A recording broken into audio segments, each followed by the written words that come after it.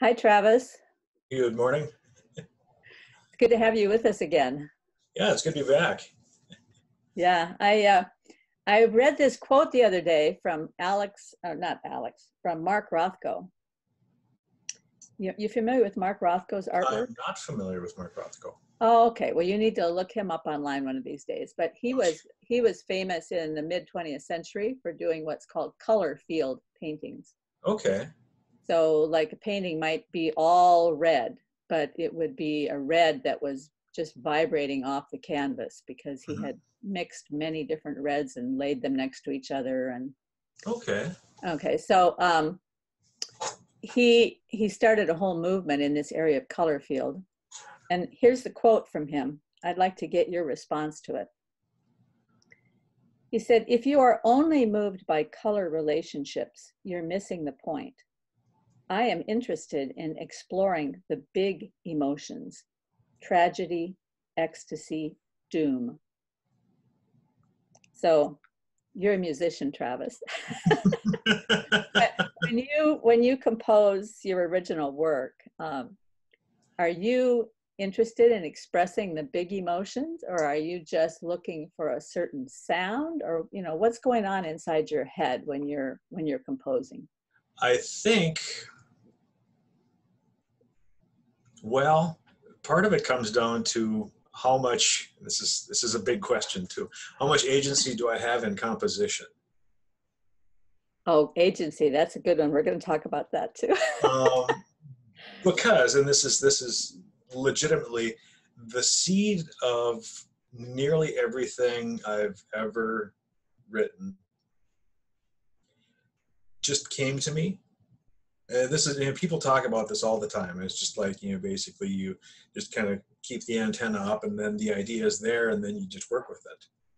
So, I think when it comes down to does this convey the big emotions or that sort of thing, I would say that I approach that kind of more on the is this salient more than like how- it, how it affects my salience perception versus how it affects the original idea because the idea shows up but i can't say that if i go mining for the idea i very regularly won't find it but it'll it'll it'll come to me and Uh-huh. then i have to figure out what i'm going to do with it and i can manipulate it once it's there but i i, I can't say i've ever just sat down and like okay i mean It it gets tough. Like, okay, I'm gonna I'm gonna do something in F sharp. I need something in F sharp, and I'll just sit and do stuff. But I don't know. It's it's it's a weird thing.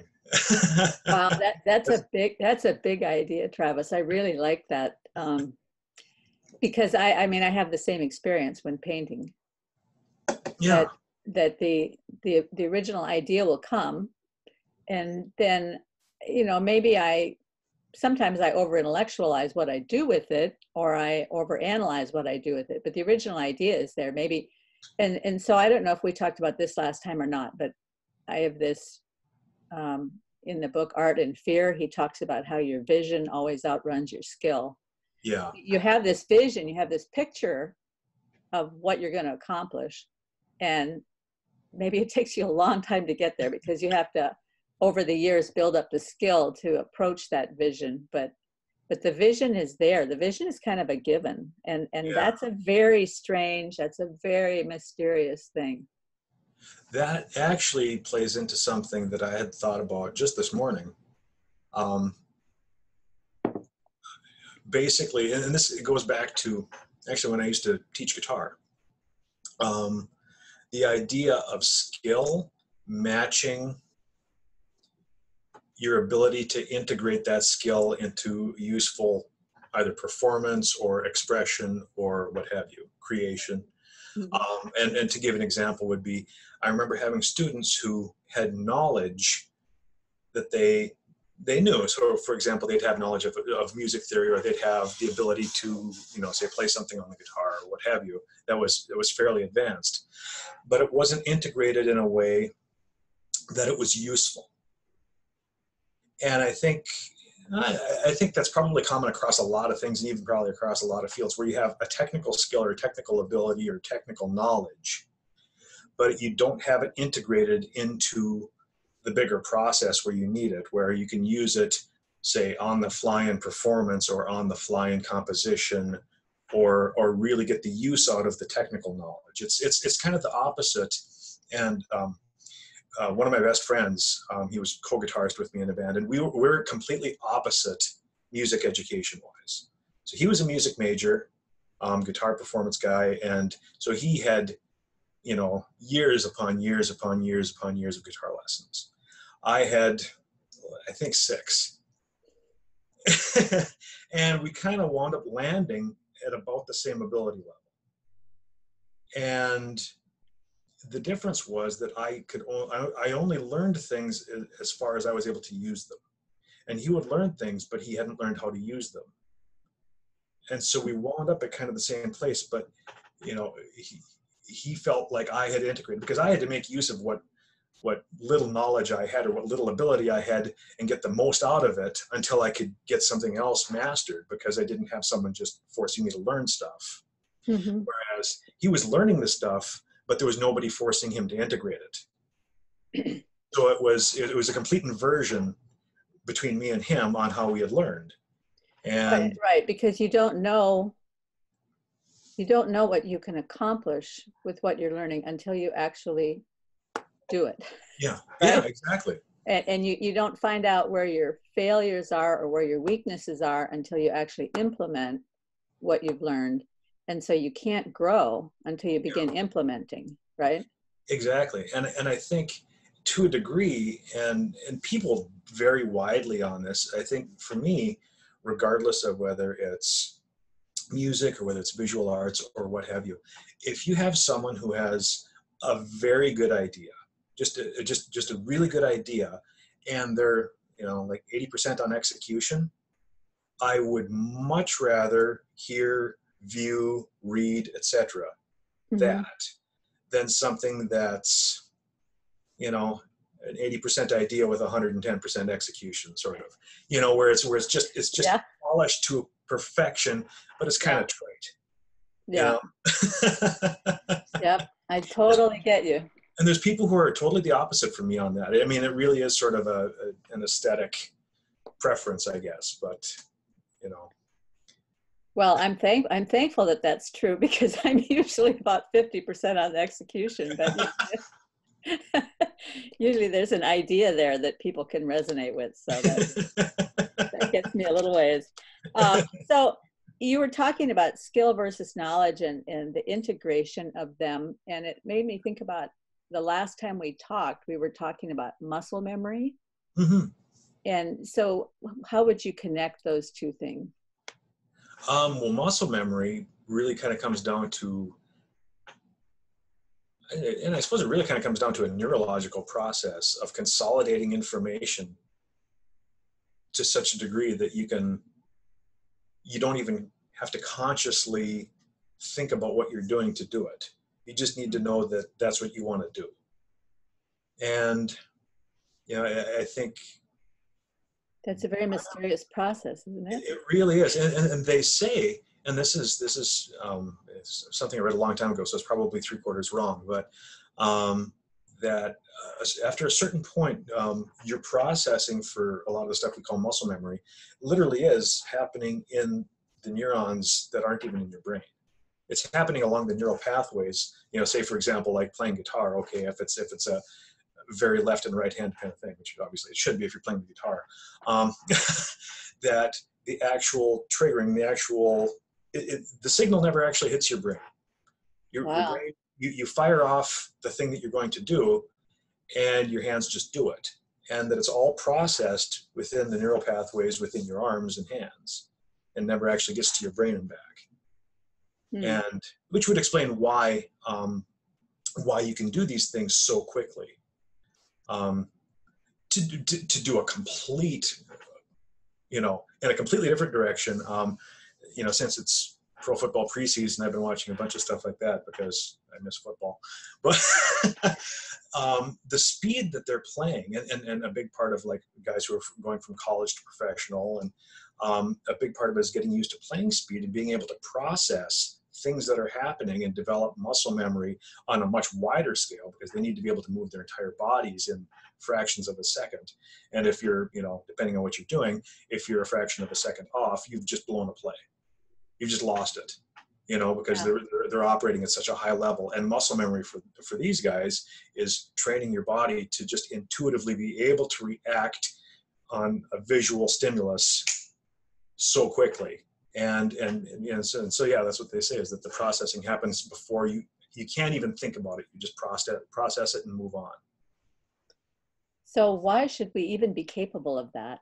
That is, I mean, that that's a really fascinating thing. Why our our human bodies are built in such a way, and why our brains are built in such a way that we're capable of that level of, Yeah.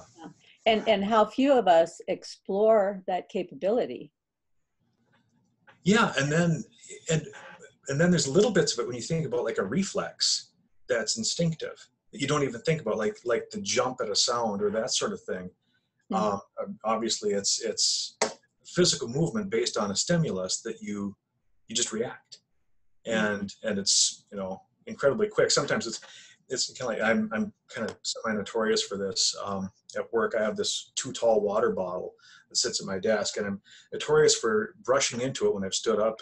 Um, I'm talking to one of my people in my cubicle, um, of brushing into it when it's empty and knocking it partway over, and just and the reaction is is so quick and unnecessarily violent that uh, I just you know knock the thing the rest of the way over because it's empty and of course there's no weight to it. Just ah. Well, I, I wonder if this connects into I don't know if you've ever heard of um, this scientist named I think Libet was his name, and he did some research on free will. okay.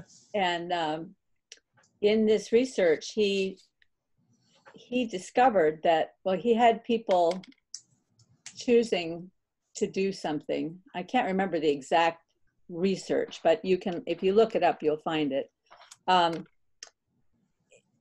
they discovered that there's a, a neuron that fires just before the person makes the choice and so they, they, he came up with the theory that we don't actually have free will, that the decision is there before we decide.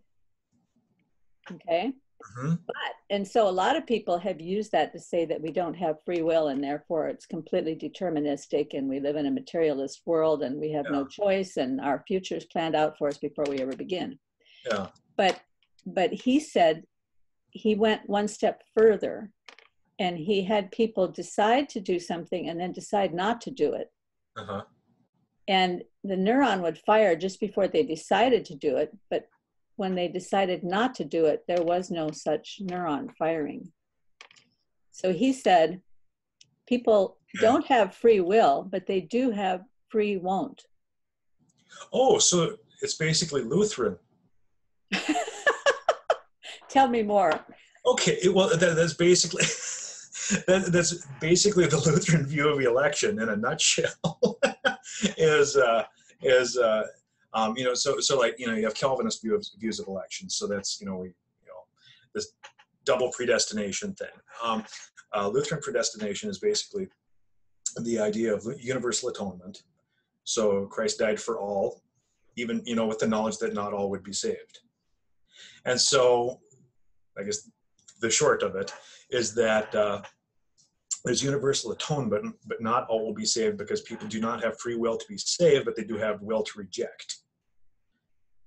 Ah okay looking at it that way Yeah. So so so if you're saved, it's not because of your doing, but if you reject, it's because of your doing. Okay, so it works both ways then. It's not only that um, we have moral agency to decide not to do the right thing, but we also have moral agency to not do the right thing. Yeah. I mean, we have moral agency to not do the wrong thing, but we also have moral agency to not do the right thing. Yeah. yeah. and then um, that's the reality you have to deal with it you can't um, a lot of people try and i've done this myself tried to live in some kind of utopia, some world that we've created inside our own heads, and we expect the world to uh, conform to us. Yeah. But um, that only lasts so long.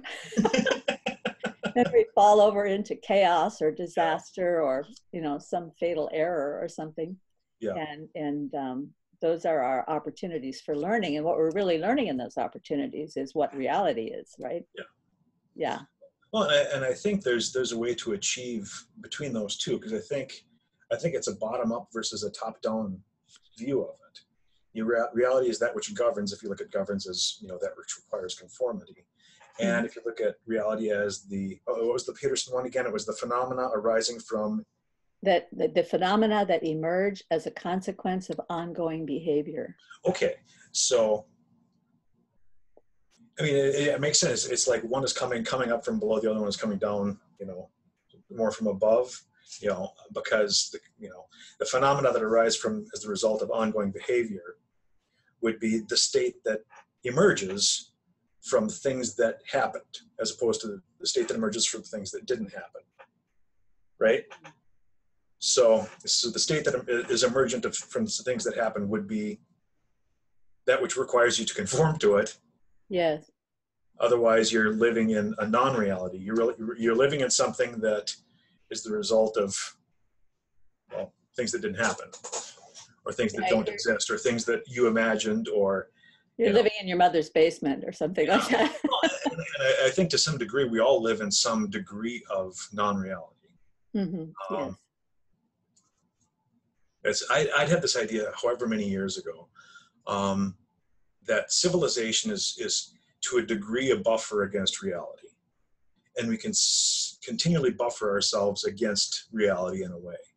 And the thing that had got me th- thinking about that, this was this was 10 years ago actually. Um, we had a, a pretty bad flood um, in Fargo, at Fargo Moorhead. And I, re- um, I remember that. Yeah. yeah, yeah, it was at the pictures. Uh huh. and uh, so where we were living at the time, we were actually in an evacuation zone, and um, well, they didn't force us to evacuate. So I mean, it was we didn't have water in our house, but uh, I was working at the time um, for a company that let us basically have the week off if we'd go and build sandbag dikes and stuff like that. So, so that's what I did, and me and my buddy from work we hopped into buses and went into backyards and built dikes and you know strung tarp around and filled sandbags and this and that. And then when that was done, then because I was in the evacuation zone, I still had more days off. So then I was, you know, sort of checking all of my plugs in my basement and going over and, and you know all this stuff, and eating ibuprofen and snarfing down bananas and living on coffee and sleeping three hours a day, and and then it was over and it was it was fine and we didn't have any damage or anything, and then I went back to work and it was pointless. It seemed utterly pointless. The work that I was doing seemed stupid and trivial and unimportant because for better than a week, I'd been living in a situation where everything that I was doing had at least a conceptual degree of hyper importance hmm because there is a river, there is water, it is rising. This is real. This is very much the case. This is where I live. This is where these people live. We're trying to save houses. We're trying to do this or that. And so it was of extreme importance and it was very direct.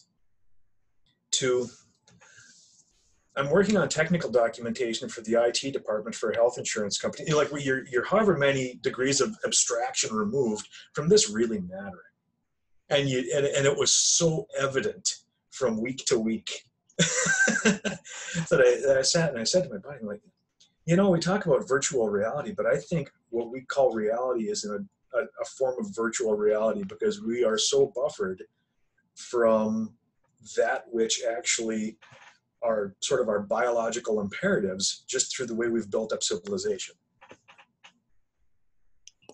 Or Yeah, that's what I, don't know, well, but that- that's what I felt at the time. Well, it's exactly what Jordan Peterson talks about. I mean, he talks about that from an academic standpoint, but and and when he did that, it never spoke to me at any deep level. But when you just told that story now, oh my goodness, so many memories came up for me. One was um, we spent a month in Haiti back in the uh, early 80s. hmm And that was when baby Doc Duvalier was still the um, dictator. hmm So you had to, every time you moved from village to village, you had to show your papers. There were big uh, watchtowers with guys with AK 47s from the government, um, making sure nobody went anywhere they weren't supposed to go. Yeah. That people were living in desperate poverty. Um, it was it was really eye-opening and and yet there was a lot of joy i mean that was that was the mind-blowing part of it was some of these people would walk barefoot 10 miles over the mountains to get to the church service on sunday morning and they'd be so filled with joy and worship Yeah. and um, then we got back to we flew back into miami before going back home to the midwest and in miami there was this thing on the news media of this woman complaining because she and her son had to live in her mother's house because she didn't get enough money from the government to pay for her to have her own house. and I'm thinking she's living in this three bedroom, two bath house with her mother. Yeah. And and that's to her, that's the end of the world. But here were these people living in cardboard boxes and eating grapefruit rinds in Haiti. yeah. And it was so hard to readjust back to any semblance of reality after we came back Yeah. and and then the same thing happened to me during the three years I spent in Japan because there we were meeting people that all the people that also spoke English, most of the people that we met that also spoke English were also missionaries. Mhm. So all of our conversation was about how can we meet people, how can we have authentic relationships with people, how can we get to know them and and love them and speak to them about Christ and um, and then all of the Japanese people I was meeting were people who were interested in learning about deep things and wanted to have answers for their lives and and then I come back to the United States and the world is just going on its merry way and even in church there was no depth there was no uh, commitment. It, it was just so unreal. And um, but eventually i readapted to that and my life floats along the same way now. And it, Yeah. it's a it's a very strange thing. You know and, and this okay this is another conversation i had yesterday was at what point and this is really a weird tangent but at what point did beds get so soft? And this is okay and this is this kind of comes down to making the world conform to us versus us conforming to the world. I'd read an article some years ago about like a 90 year old lady in england who had slept on a hardwood floor in her house ever since the blitz. So ever since you know she got used to sleeping in the closet when the germans were you know doing air raids over london. And so she'd just gotten used to sleeping on the floor and so she'd slept on the floor the rest of her life. And uh, people were like well don't you get sore? And she's like no your body gets used to it.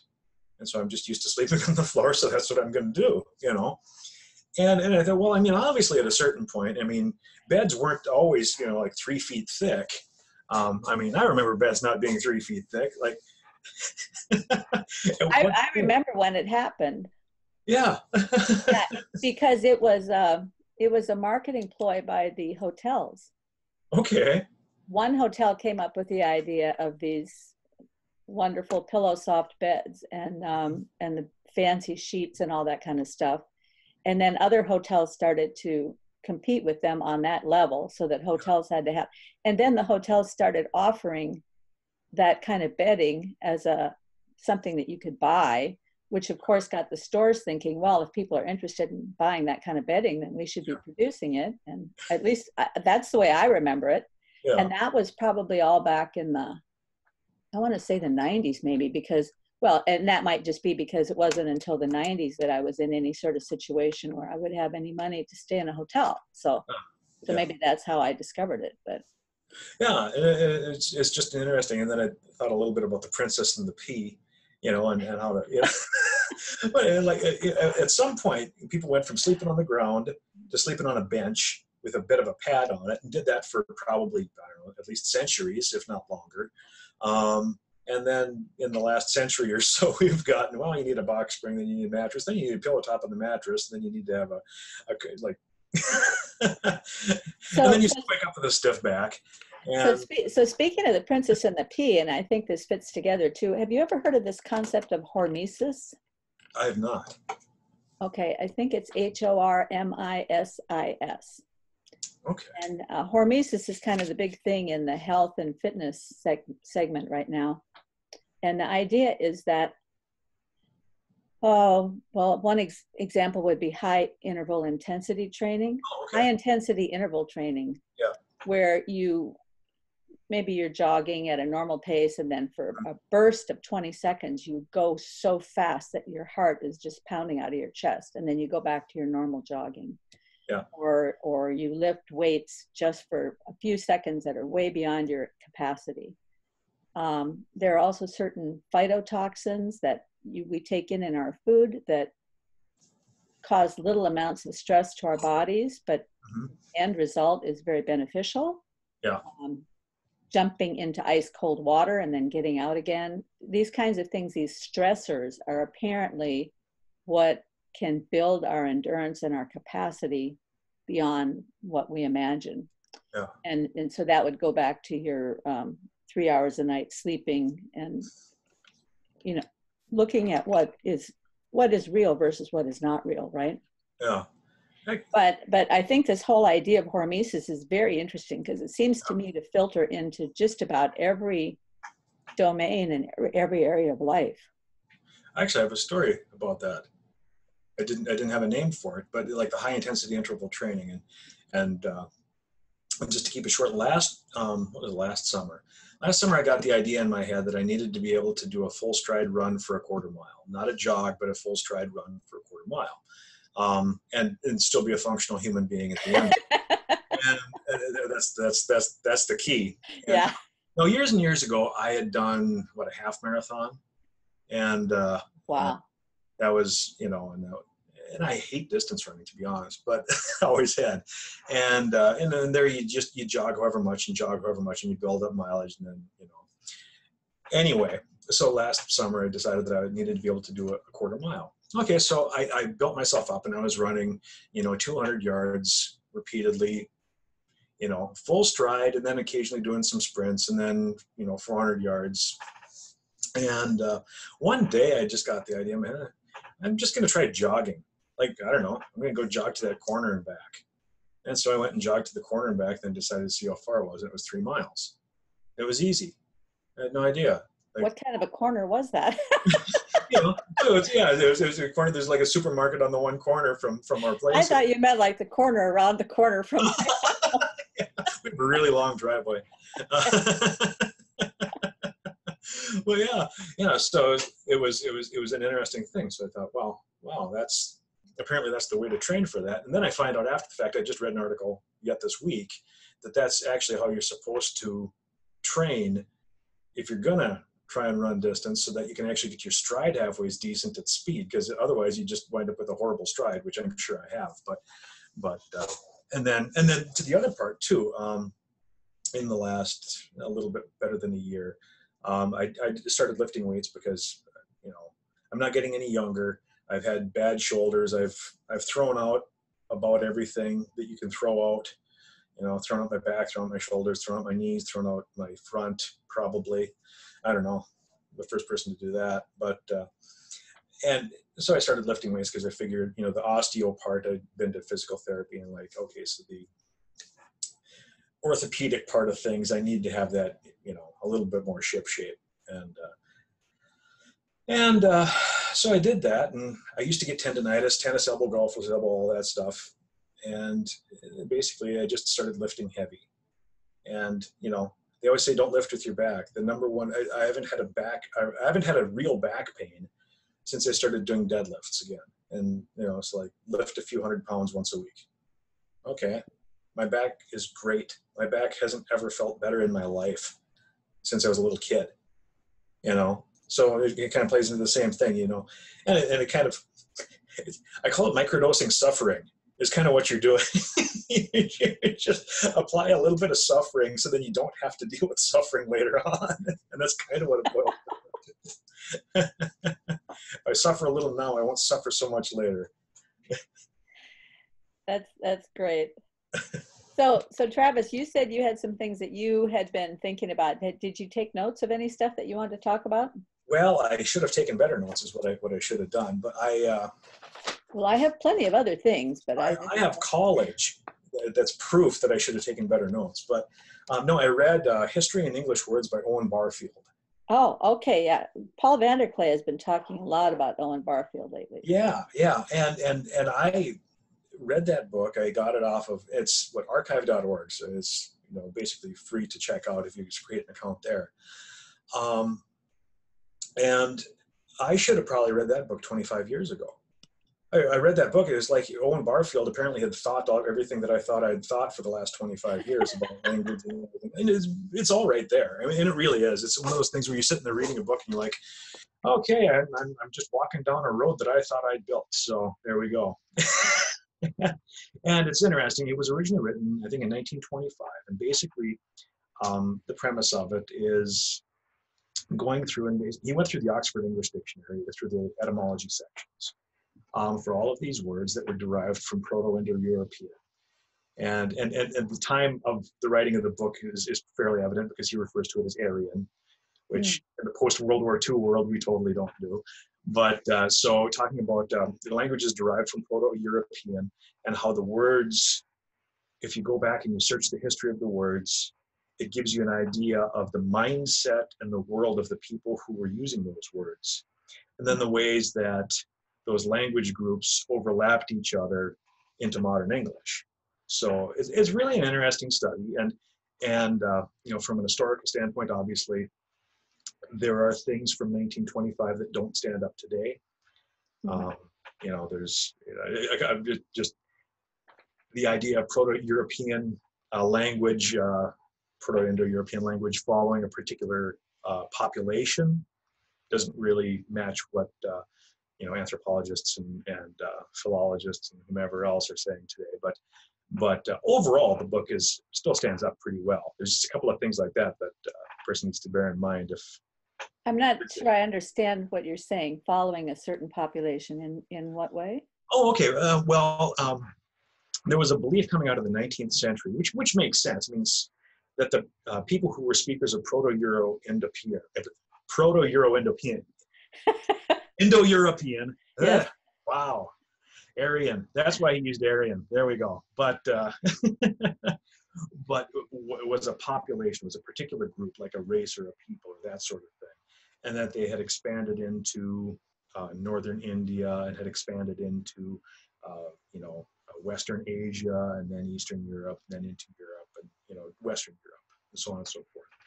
And the way language tends to move is you have you might have a population that's the original core of it, but then the population moves and then the language spreads with the people who the population contacts. And so then the language group winds up transcending the particular, say, tribe or kingdom or whatever group it winds up working with. So, so you have maybe multiple sort of groups with that language, um, especially a language that spreads and moves and becomes very dominant you'll wind up with multiple peoples sharing the same language, kind of like English is today, or you know, the term mm-hmm. lingua franca, uh, you know, mm-hmm. deals with how uh, you know the Frankish language was dealt with, or the way Latin became, the way Greek became um, in the ancient world, where you had multiple people speaking those languages. Uh, the Proto-Indo-European languages but probably the same. But it's still, it might have been true in uh, early civilization before there was so much travel and communication possible between different cultures. Yeah. I mean, that language was with a given given people group, and then you know, it, so it might have been true that from that standpoint. Yeah, and and I think it, it probably holds up, you know, from the when you go back to the root of it. And then once you start getting into the spread, that's where that starts to become a, a more difficult thing to hold up. But I remember uh, reading and this was like a late 19th century book where the basic idea was that proto-indo-european spread into um, sort of the Greek area and, and, and north of there, the uh, Eastern European area, uh, because of these Proto-Indo-European warrior horsemen who carried it in there and, and dominated the people, and then brought in agriculture and all this sort of thing. Mhm. And and and that's the part that basically archaeology and anthropology certainly makes it less simple. It's like, okay, well, there's phases of this and that, and there's a mixture of agriculture in here, and there's, you know, all these things sort of interleaving. So, and the interesting thing is Barfield actually kind of intuitively puts that over the top of it anyway when he's discuss when he's discussing how the uh, language developed as successive waves of Indo-European derived language groups, you know, lapped over each other. You know, so Mhm. you know, his example obviously in England was with the Celts. So the Celts were the earliest known, you know, European language group people settled on the British Isles, and then they were overrun by the Latin-speaking Romans, and then they were overrun by the uh, Angles and Saxons, and then they were overrun by Vikings, and then they taken over by the French Normans, and then That's why our spelling is so complicated. and then after that, then they smuggled in a bunch of French uh, legalese, and then they were smuggled in a bunch of Latin legalese, and of course a Latin bunch of Latin uh, ecclesial stuff, and then you know a bunch of Greek, you know, and so all of those are Indo-European languages that just got rolled on top of each other, and so each time there's a successive wave or trend for one of those, um, it sort of illustrates something about where people's mindsets were at the time that that was happening. Well, so what, what would you say is the main takeaway that you got from his book? Um, Well, it kind of fits to a degree into um, one thing that I I mentioned back uh, in the in the previous conversation. Um, words as little containers for meaning, Mm. and with that, he you know sometimes there are words that we're using where we're smuggling in certain amounts of meaning that we don't necessarily that I at least I don't think we necessarily we might intuitively we, we- might infer it from the words, but we wouldn't define them with what we're inferring. You know, so there's a little bit extra there that we're inferring from the word, but we don't necessarily define it that way. And what we're you give me inferring is very often something that it's that's that's that's bringing in from the past. From a Give me an example. um, let's see. I'm trying to think. Like the example I used last time, um, believe, for example. So believe brings in something more than just accepting the proposition. You know, dogs are mammals. You know, to believe is is is some element of of value attached to the proposition, and and and that, and that comes from the fact that you know believe, you know, formerly carried an amount of uh, to love along with it to trust. And so that winds up rolled into, even though we don't necessarily, we wouldn't necessarily write out the definition of believe to be to love or to carry a value of something or to trust in something. Maybe Mhm. trust would be the closest we would get. Um, Yeah. Well, it seems like you don't need to use the word believe if you're just talking about a fact. Yeah. Right? Um, Like dogs are mammals or the sky is blue. Yeah. Um, I guess if we get to the level that we have to start using believe for that, then we've really gone over the edge. I mean, we're already almost over the edge as a civilization. what we are sometimes called upon to believe, but Yeah. um, but at least we still think of those as facts. So I mean, I know, I know that the sky is blue. I see that the sky is blue, but Yeah. I believe. You could say I believe that the sky is blue because of the density of the air particles, you know, or whatever. Um, I- I guess even if I actually knew what the fact was there, even that I would have to say I know. So, but uh, I, I believe this airplane will fly. Yeah. Okay, we're getting a little closer to it. Or, or um, a tightrope walker says, "I believe that this tightrope will carry me from this building to that building." mhm. Yeah. yeah and and there was and, and there's just a, a bunch of little little gems in that book uh, just all throughout it um, one of them let's see if i can find um,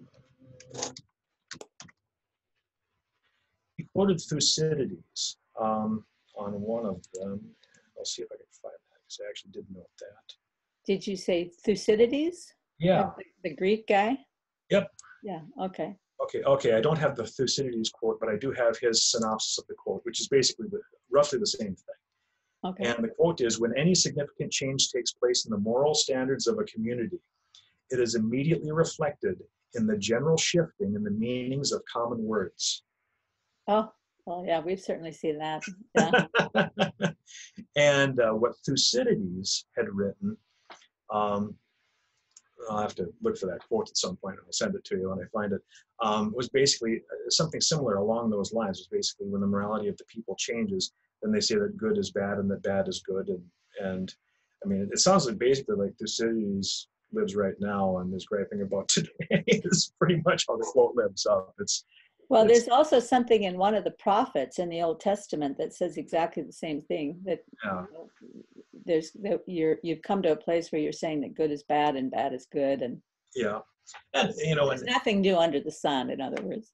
Well, that's the thing is it's you know really if you look at where we are. I mean, Camille Paglia has done a bunch of stuff on this too. If we look Oh, at where she's we are, brilliant. society- She's brilliant. Yeah. yeah, and we look at where we are as a society. We're far from being the first to be in in sort of in the phase that we are. I mean, obviously with the technology that we have, but the Western world isn't the first to start dealing with some sort of fracturing. And that's really kind of what we're doing. It's this disintegration. We're deintegrating all of these things. Um, you know, for some reason, due to postmodern, uh, yeah, postmodern approaches are probably part of it. But I think there's some underlying philosophical things that have been bubbling under for the last couple hundred years that are probably made that prevalent. I guess. Well, when you just use that word disintegration and you broke it down to deintegration, and I thought, wow, that takes me right back to your first comment about skill versus knowledge. That that um, knowledge needs to be integrated by applying skill. Um, otherwise, it's quite useless, right? So, um, in our culture today, we seem to have gotten to the place where it's all about knowledge and information and not so much about skill. There are a few people who are doing artisan crafts and, you know, um, home cooking and making special kinds of bread in bakeries. You know, there's still some of that skill based life out there, but most people are making their living based on knowledge information technology and not not so much in applying um, especially we're not working with our hands as much anymore. We're not working with our bodies.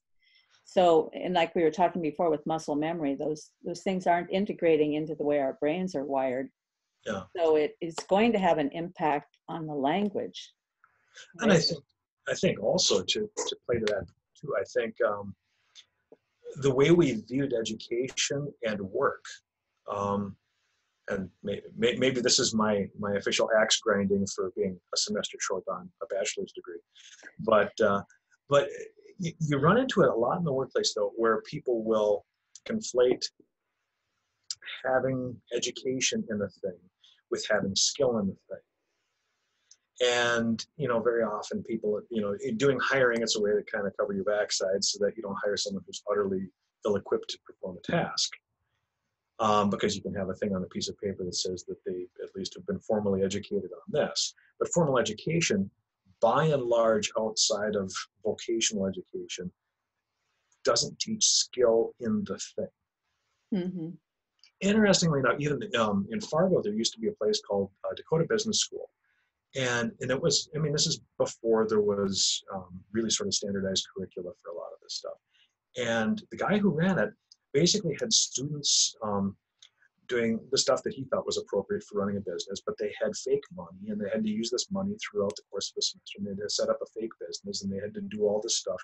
And it was basically the running of a business in this school and then all the stuff doing the book work doing this and that and you know keeping track of you know and, and all these things and it was basically all applied business school that's pretty much what it boiled down to and it was apparently well at least it was successful with a lot of the early business people in fargo and and you don't hear about a lot of things outside of, once again, vocational education that approaches the skill side of things as well as just the academic. And I think we've gotten so far into the idea of like, well, you need to be academic, you need to have training on this. Like, okay, so I was a history major 20 years ago. So if I had been a computer science major 20 years ago, would anything I've learned in college mattered now? What If good you, would if it you learned it, if you learned it last year, it's not very useful now. That's exactly it. That's exactly it. So I mean, so the, the world is moving so fast on us that that information is is kind of useless. What you need is to know where to find information. Yeah. Right. Yeah, and So my daughter, who my daughter, who has kept me somewhat technical all these years, at least at least I can do the simple things. Uh, she can find anything at a moment's notice. So, Yeah. so her and her generation, they don't really store up information so much because they don't really need to. They just access it on the computer.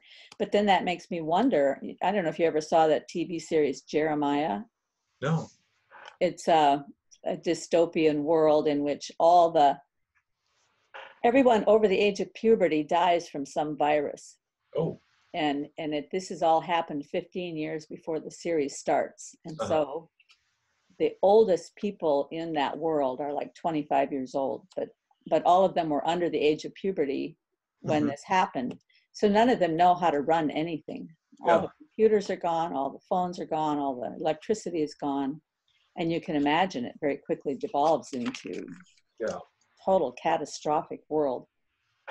But it makes me wonder what'll happen if we ever get that big EMP and it knocks out all the computers.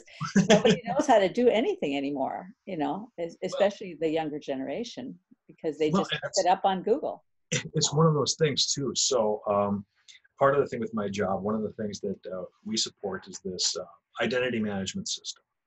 Okay, so it's it's this identity management system um, for the federal government. Okay, so it's, it's basically it's a computer web portal where people register and, and, and it, it verifies their identity and then it uses that for managing it. Um, and so like any other thing, you have a development site that's the development version of the same and you have a, test site, which is the test version of the same. Then you have the production site, which is the version that people use. And and uh, I had a question yesterday about the development site because we don't get a lot of people asking about that. And one of our employees was was asking about uh, someone was doing a test account and they were getting uh, an error when they were trying to do identity verification. So what's give them the answer on it. And, you know, we have we have a knowledge base. We have knowledge base stuff set up on it. You know, and and the answer is, of course, because it's test, it's all fake information. You know, there, there's no real information in test because we're testing, and and so identity verification can't work. You just have to manually bypass it because we're just testing it. And so we aren't using real people's data. And a coworker and I were talking about this, and you know, we had started early on when this thing was first launched, and there was no documentation on it. It was just a nightmare. And you know, we think of it because we had to. We didn't have more granular information. There was nowhere to really look things up. With these heuristics just built into the whole idea. Okay, test information doesn't matter. It only matters insofar as that you can use it for testing. So if you have a test user information, it can be blah blahbo from blobland, and it doesn't matter as long as you can fill out the forms and the thing submits, the account's created, you can do stuff and, and mm-hmm. that sort of thing. Whereas production information is super important. It is beyond important because that's what the whole system is actually set up for. Mhm. But for people who started when that wasn't the environment, where you could just look up answers, you never have to develop that heuristic at all. You don't have to develop all these mental shortcuts for, okay, well, here's the basic reasoning for this, this, and this. And then I can just build all my knowledge off of that. If you can just look it up, then you just look it up. So you don't have that built in heuristic that you need to deal with. Hmm. so and it was just sort of and i never thought about it that way until we actually talked about it it's like well okay that's a thing to consider when we're looking at training So, so in other, so uh, let me see if I'm following you. So, if if I apply this to the real world, Yeah. it's kind of the idea of um, the way education used to work in the old days, especially if you go back to the classical view of education. The first six years or so of a child's education was memorizing a lot of data and information. And then Yeah. when they get into junior high and they start asking a lot of questions, Yeah. that's a time for doubt and and and questions and um, trying to figure out what's going on in the world and maybe some rebellion. But then when you get into the the high school arena, that was supposed to be in the classical trivium mm-hmm. education. That was supposed to be the time that you begin to take all this data that you learned and then you take the questions and you begin analyzing and and coming up with some way of viewing the world and understanding civilization and history and so forth. so you're building one body of knowledge on top of another body of knowledge. You're putting the building on top of the basement. But I think what you're saying right now is that because people can just look things up so swiftly that they they don't have a matrix of information into which to fit that new data that they're that they're looking at. hmm hmm Is It's that kind a, of, it's is kind that of a like close analogy? I think so. I think so. I think it's um, to to to give another sort of an example. Let's say your car has a check engine light, right? Uh, This this this happened with my wife's car, brand new, check engine light. Okay, now. And, and you take it in. This has been the gripe of people who've done any, you know, whatever mechanics over the years, you know. And you take it in, they, they hook up the thing, and they go, okay, well, it has this code. We replace this part, and and and uh, well, you could do that and people do this all the time. If you look on the internet if you ever own a you know a car look up look up error codes. And there are people who will look up an error code on their car because you can buy a reader and you can hook it up. I have a check engine light. Error code blah. Okay and you look it up i need to replace this part. And so then they buy the part and they replace it and it didn't fix the error code. Then they go on web forums and they say it didn't fix the error code. Well you could pl- replace this other part. That worked for me. And so then buy the other part and they replace the thing but they never understand how the system works. And You can get a check engine light from having your gas cap on loose. but you know, you well, you wouldn't know to check that because that's not what the code told you. You know, hmm. you know, you could probably get a check engine light from running it out of gas. You know, for, Well, for some cars, So, you know. so the way that relates to to our lives is that there's a certain received wisdom that we get from previous generations that if if the younger generation is dependent completely on Google for everything Yeah. and they're not listening to their their adult counselors, right? Yeah. they're not getting the received wisdom, which I, I would say that's like, you know, what we would call um, what all the things that my mom used to say, you know. Yeah. And and my mom's generation, they had so much stuff that they understood about how the way the world works. And I don't even know how they knew it because much of it hasn't even come to light until recent studies have been done about, you know, Yeah. what, what's proper nutrition or um, um, if you get a bee sting, how do you get the stinger out? You know, well, you put a poultice on it and Yeah. you cover it with, I don't know, mustard and baking soda or some weird thing like that, and that'll draw the stinger out. And Yeah. how did they know all that stuff?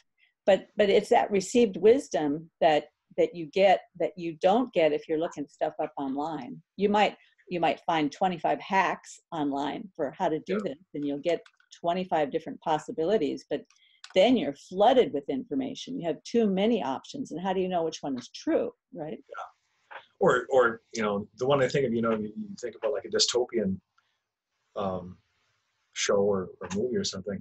What I always think of is like okay, civilization is collapsing and everyone goes to the grocery store and takes all the food. Yeah. And okay, so what are you going to do for food after that? Where does food come from? And there's a significant portion of America's population that doesn't go past the store, that doesn't think beyond the store hmm and it's almost a little frightening in a way when you think about that like well well that's what you're supposed to do you go there and that's where the food is what if it isn't there i don't know where food is there where does food come from well it comes from somewhere else and and that's a liver that's a life or death thing When, I mean, but it's it's stable. We don't have to deal with it, but it's a bit of information that if people were actually in that situation, I think that's actually how a lot of people would respond. They go to the store, there's nothing there. What do you do? I guess I'll die.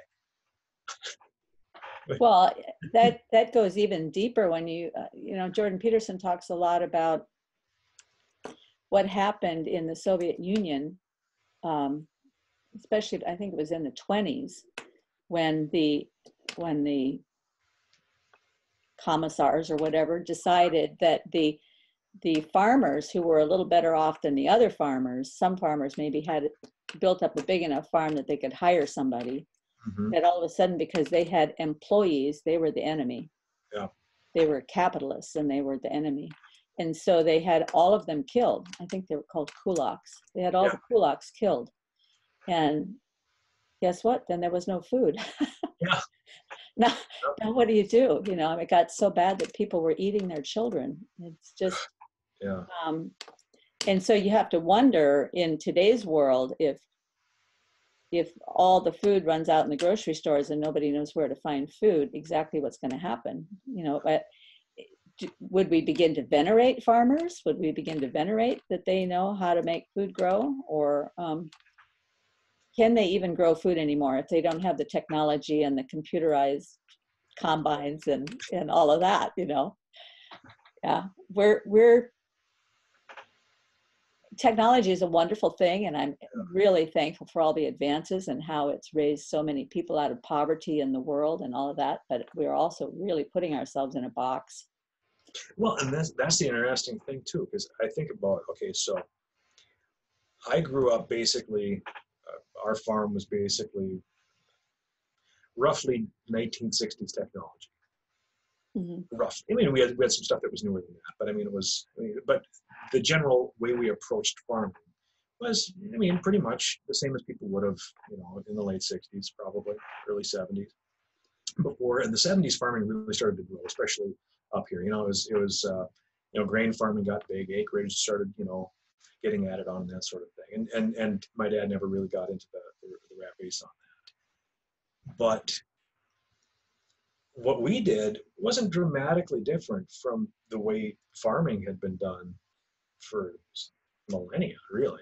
I mean, there's the mechanization element, but the basic tillage, all of that, all of that's basically the same, a variation of the same thing.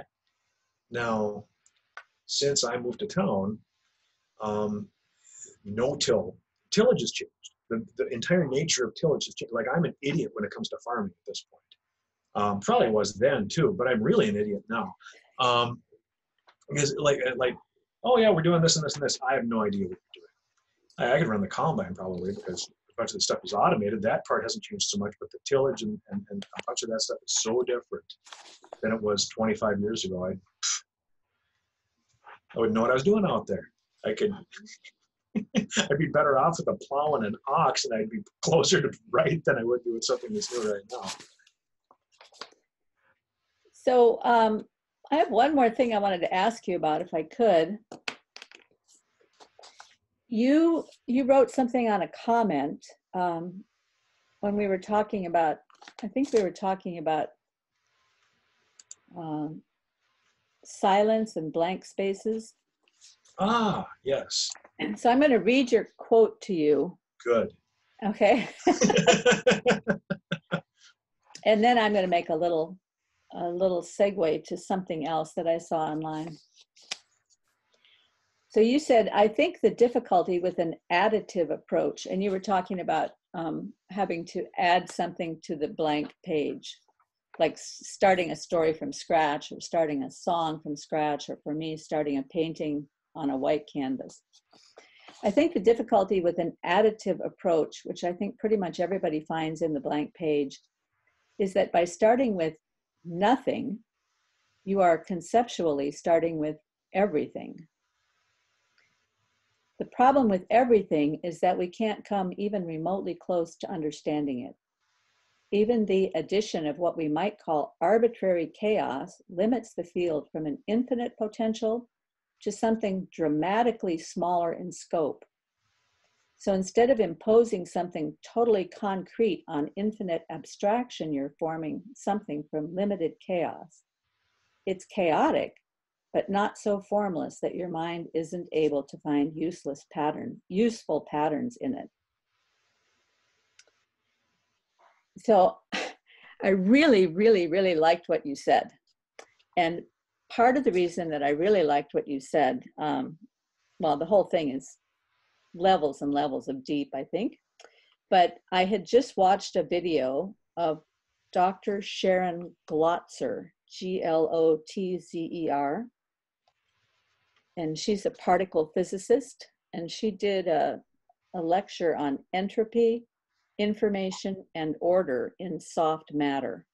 And Hmm. I'll, I'll link to this on the video.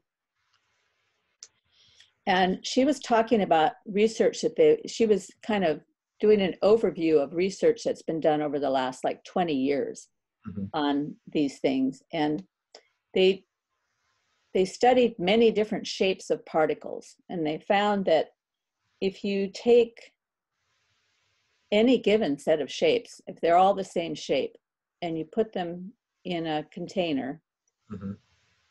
they'll just be random in the container. But as you remove more and more space until you get to the place where there's no space left in the container, and uh, they've not changed the temperature or any other external force. Mhm. Once they've removed all of the space, those particles will self organize into a crystalline structure. And so she says entropy alone is doing this. Oh wow. So she's saying that entropy actually has a function of creating organization rather than diminishing organization. But what I thought was interesting about what she said was I think she's missing something. Now, I'm not a physicist, Uh-huh. but, but they're actually inputting something when they remove the space. The action of removing the space, of putting this inside a very tight constraint, Mhm. a boundary, that is also an element in the in the study that they're doing and you can't throw that out you can't say with entropy alone No. because it wasn't entropy alone it was entropy operating inside this boundary that has no space in it right Mhm. Yeah. and so then that made me think about what you said um, instead of imposing something totally concrete on infinite abstraction you are forming something from limited chaos it's chaotic but not so formless that your mind isn't able to find useful patterns in it Did, did you, you understand the Yeah, connection? yeah. Okay. Yeah. Do you have any Yes. comment on that? That's deep. Well, I wouldn't attach those two together, but yeah. do Um, you, do you want to you want to think about that a little bit, and we'll yeah, have I'll have to. I'll have to, I'll have to read about it. It's yeah, really- and we'll have another conversation Yeah. Wow. Be- because I th- I think there's really something there, and it it somehow connects to something that's inside your brain. So so I want to find out more about that. yeah, and and one thing I, I've been I've been thinking about too. I think when we think chaos, and, and it was, I was thinking about chaos too, and kind of like randomness. Um, is there such a thing as is chaos only perceived? I guess is the question. Is chaos simply perceived, or does it exist? I've been outside I've been wondering about that. I've been wondering about that. because now if we if we take on the godlike VanderKlayian monarchical vision, um, not saying that Paul's godlike, but uh, that it's a monarchical vision.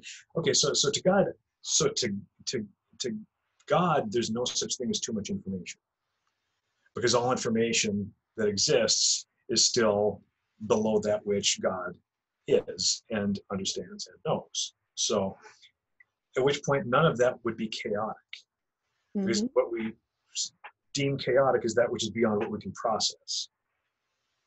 Or yes, beyond.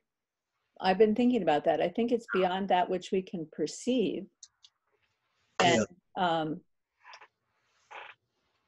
so so Jordan Peterson talks about the known and the unknown.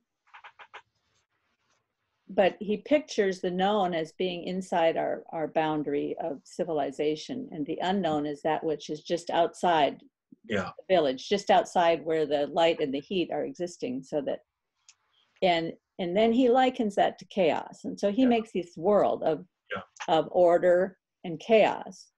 But I really think it's more like the known i- i- that Yeah. it's the known and the unknown because what is unknown. Okay let me put it this way. I think humans are perfectly capable of creating chaos. Because i think about i can i can create chaos on a canvas. I can do that. Yeah. um maybe i can't. Maybe free will doesn't exist. so when i think i'm creating chaos. It's really something else that's creating the chaos. But but anyway i think in the natural world there is the known and the unknown but are, we're, we're, we're over time aren't we I guess so. well let's pursue this in our next talk Let's- okay. let's something to talk about the known and the unknown and chaos because i think this is this is really where i want to get to so if you're willing for another conversation we'll do it All right. And maybe chaos is formlessness. uh-huh Maybe Yeah. that's just the absence of form.